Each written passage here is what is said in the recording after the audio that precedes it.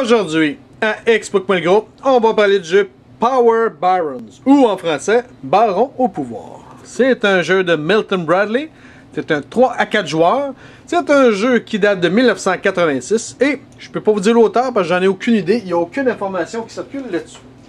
Donc, quel est le but du jeu? C'est simple. Vous voulez ériger la plus grosse base de pouvoir. Maintenant, comment gagner?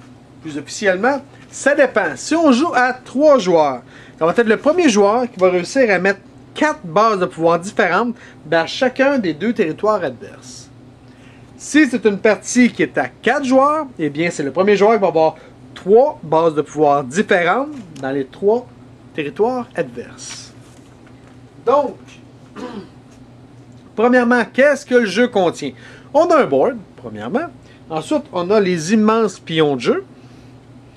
Chaque joueur a un nombre de bases de pouvoir, donc quatre différents, c'est-à-dire les bases de pouvoir de transport, de finances, d'énergie et finalement de communication.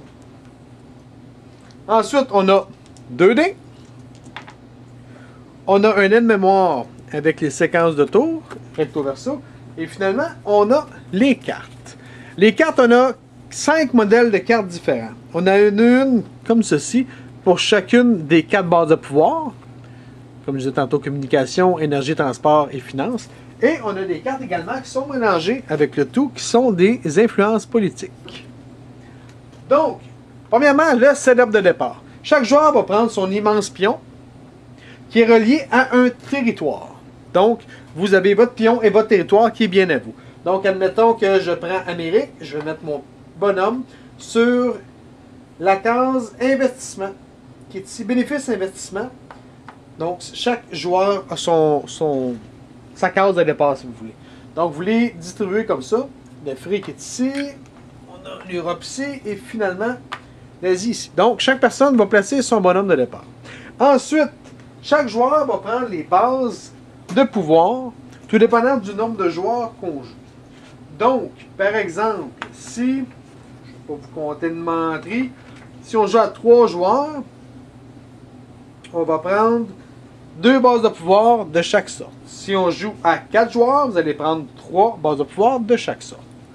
Donc, une fois que ça c'est fait, on va prendre le deck de cartes, on va les mélanger et on va en distribuer 8 à chaque joueur. Une fois que c'est fait, ben, on va pouvoir commencer la partie.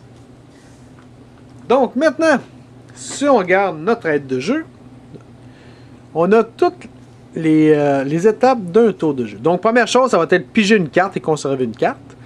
Ensuite, on va lancer les dés et on va avancer. Après ça, on va relancer un autre joueur et on va acheter une base de pouvoir pour des crédits de 300 millions de dollars. Donc, première chose, on va piger une carte. Qu'est-ce que ça veut dire? C'est pas bien compliqué. Vous pigez une carte. Dans le jeu, ce qui est important de savoir, c'est que vous devez toujours avoir 8 cartes en main. Donc, si j'ai mes 8 cartes de départ et que je dois piger une, on s'entend que je tombe à 9. Si j'ai 9 cartes, qu'est-ce que je dois faire? Je dois prendre une de mes cartes et la mettre dans mon compte de banque. C'est simple. Je choisis la carte que je veux. Admettons que je choisis celle-là. Et je vais la mettre en face de moi, face visible. Donc, chaque joueur peut voir combien d'argent que j'ai dans mon compte de banque. Donc, de cette manière-là, j'ai mes 8 cartes. Fait que, début de jeu, on pige une carte, on a 9, on regarde qu'est-ce qu'on veut faire et on en jette une dans notre compte de banque. C'est la première chose à faire pour notre premier tour de jeu. Ensuite, on a lancé les dés, avancé son pion et suivre les indications. Lancez les dés et vous avancez tout simplement. Les cases qui sont sur le jeu sont simples. Vous avez des cases comme prenez une carte pouvoir, euh, prenez une carte d'influence politique. On a, écoutez, on a quelques, quelques petites choses comme ça différentes. Si vous devez prendre une carte pouvoir, n'oubliez pas que vous on ne peut pas avoir plus que 8 cartes. Donc, vous, pigez une carte pouvoir, vous devez en discarter une absolument dans votre compte de banque. Si j'en perds une, eh bien là, je vais en piger une nouvelle car je dois en avoir 8. Une chose importante, c'est lorsqu'on tombe sur une case bénéfice. Si je tombe sur une case bénéfice, première chose, c'est que le propriétaire du territoire à qui appartient la case bénéfice. Donc ici, c'est à l'Afrique. Donc si moi je tombe sur l'Afrique, eh bien, la personne à qui appartient l'Afrique va piger une carte. ensuite, chaque personne qui a une base de pouvoir dans le territoire, eh bien, va pouvoir piger une carte. C'est bien. Donc, ça, c'est une des cases qui est plus spéciale que les autres. Et ensuite, on a une case qui s'appelle défi limité, que je vais vous expliquer plus tard, qui a une petite, euh, une petite touch spéciale. Donc, maintenant, on retourne à notre splendide petite carte. On va la mettre en français. Donc, piger une carte, conserver la carte, c'est fait. Lancer les dés, on le fait. 3, on a relancé un autre joueur. Ça, je vais vous l'expliquer, ça ne sera pas trop long, je vais rien que vous expliquer le 4 avant.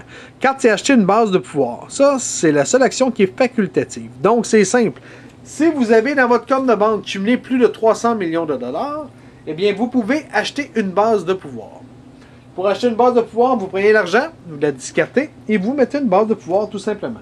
Les bases de pouvoir, la manière ça fonctionne, Premièrement, chacune des bases de pouvoir doit.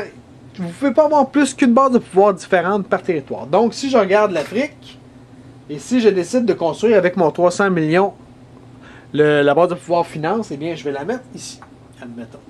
Mais pendant tout le restant de la partie, je ne peux pas construire une autre base de pouvoir finance et la construire ici, car je n'ai pas le droit d'en avoir deux sur le même territoire. C'est bien. Pour ce qui est de l'argent, peu importe le logo qui est sur votre argent, vous pouvez acheter n'importe quelle base de territoire. Les logos sont pour une autre utilité qu'on va expliquer tantôt. Donc, n'oubliez pas, le but du jeu, c'est de ramasser un certain nombre de bases de pouvoir. Donc, il faut, en acheter. Dès que vous avez 300 millions, vous n'avez pas le choix de le faire. C'est bien. Puis en passant, si vous avez 310 millions et ça coûte 300, eh bien le 10, vous ne l'avez pas en change. Si vous n'êtes pas capable de payer le 300 pile, ben, vous n'êtes pas votre change. C'est bien. Maintenant, on va expliquer la partie centrale du jeu qui est relancer un autre joueur, donc le numéro 3. Donc, lorsque vous relancez un autre joueur, c'est simple. Vous prenez votre carte et vous la flippez de bord. Vous avez toute la séquence de la relance. Ça va être plus simple comme ça. Donc, ça, on le regarde ensemble. Choisir un adversaire et une base de pouvoir. Donc, moi, je suis jaune, je décide de relancer bleu. Donc, je lance un duel à bleu. Je prends, admettons, cette base de pouvoir-là, parce que c'est celle-là que je veux passer. Euh, moi, je suis jaune, j'ai dit, hein, j'ai une tête de cochon. Ah, je l'avais déjà. Je suis jaune et je veux relancer le joueur bleu. C'est la base que je veux mettre sur le bleu. Donc, je prends ma base, je vais la mettre sur la rose des vents pour qu'on y pense. Donc, première chose à faire, on le fait, on a challengé le joueur bleu. Donc, si on vient là-dessus, choisir un adversaire, c'est fait. Ensuite, on va pouvoir. L'attaquant va jouer une carte de pouvoir. Ensuite, le défenseur va jouer une carte de pouvoir. Donc, on va faire ça. On va tasser ça un petit peu. On va se faire de la place. Donc, j'ai mes 8 cartes et le joueur adverse a également 8 cartes. Ça, c'est le setup logique de départ. N'oubliez pas, comme on disait tantôt, que chaque carte a un logo différent. Donc, moi, en tant qu'attaquant, je décide de mettre cette carte-là. Parce que, comme la carte nous dit, c'est l'attaquant qui commence. Moi, je décide de jouer celle-là une énergie qui vaut 20. Donc, le défendeur doit absolument jouer une carte de cette couleur-là, peu importe qu'est-ce qu'elle représente. Donc, admettons qu'il décide de mettre une carte de 40 énergies. Donc, ça, c'est fait. On a chacun joué une carte. Donc, si on vient à notre, carte de séquence, l'attaquant joue une carte pouvoir, c'est fait. Le défenseur joue une carte pouvoir, c'est fait.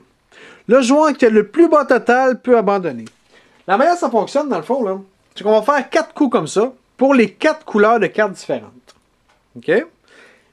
Tout au long, à chaque fois, on va mettre une couleur, puis on va regarder les résultats. Comme présentement, moi, je perds de 20. Donc, si je me fais ma carte ici,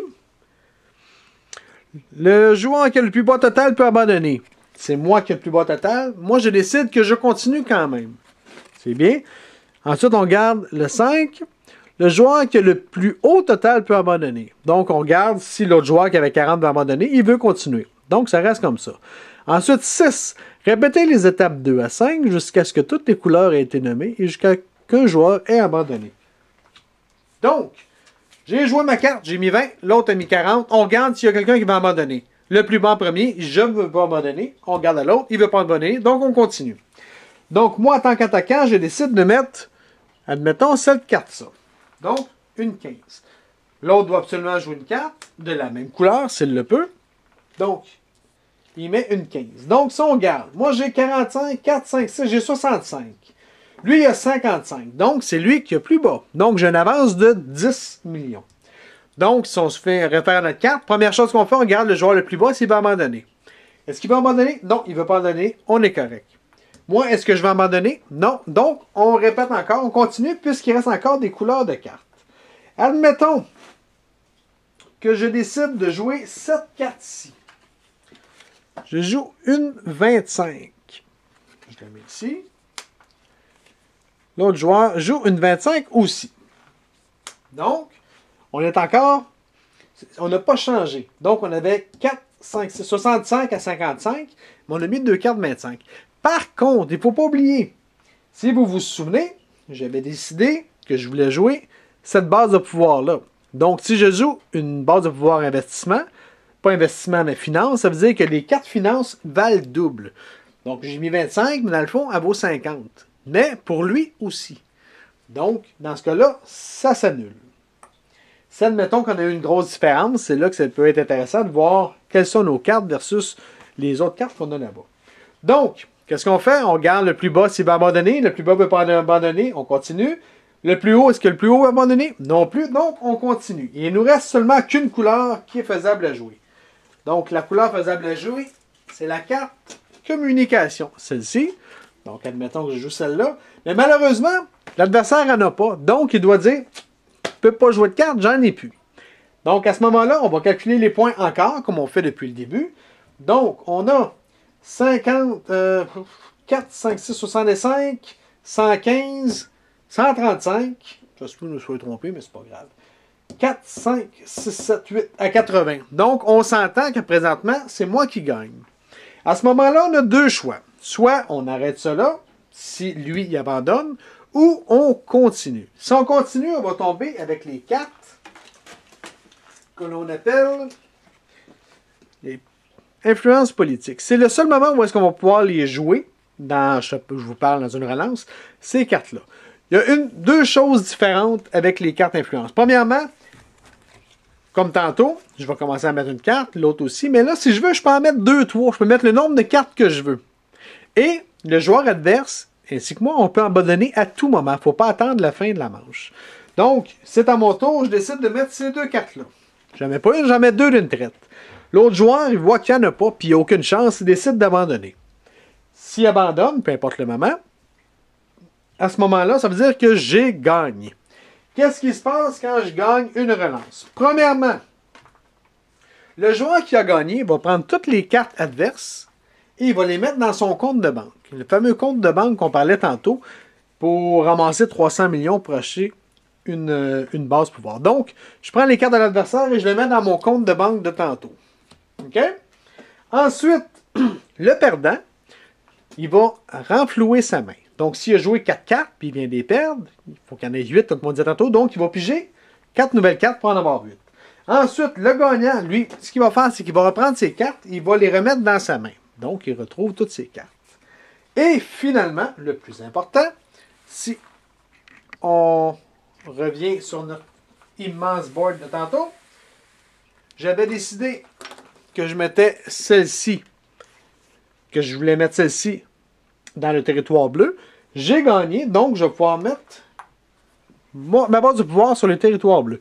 Admettons que l'attaquant perd, eh bien, il met rien tout simplement. Et son tour est fini. C'est bien. Donc, je récapitule vite fait. La séquence d'un tour. Premièrement, je pige une carte et je dois en défausser une si j'ai plus que 8 cartes. Logiquement, je vais en avoir une de trop. Donc, je la mets dans mon compte de banque. Deuxième chose, je vais lancer les dés, je vais bouger mon bonhomme, je regarde qu'est-ce que la case me donne. Ça peut être vraiment de n'importe quoi. Ensuite, troisième action, je peux relancer un autre joueur, comme qu'on vient de faire un duel aux cartes. Je, pas je peux, je dois. Donc, je prends n'importe quel joueur et je, je, lance un défi. On fait les cartes, on résout le combat, je regarde si je peux mettre placer une base pouvoir ou non. Et on rétablit les cartes comme je disais tantôt. Si on regarde vite fait comment marche une, séquence, je choisis l'adversaire, je choisis une base pouvoir, je la mets ici. N'oubliez pas que la base pouvoir que je choisis, les cartes valent double. L'attaquant joue une carte, le défenseur joue une carte, celui qui a le plus bas peut abandonner. S'il abandonne pas, on regarde si le plus haut va abandonner. Si le plus haut ne veut pas abandonner, eh bien, on continue jusqu'à temps que toutes les couleurs soient là. Quand toutes les couleurs sont jouées ou que quelqu'un a abandonné, eh bien, on peut tomber sur les cartes d'influence politique.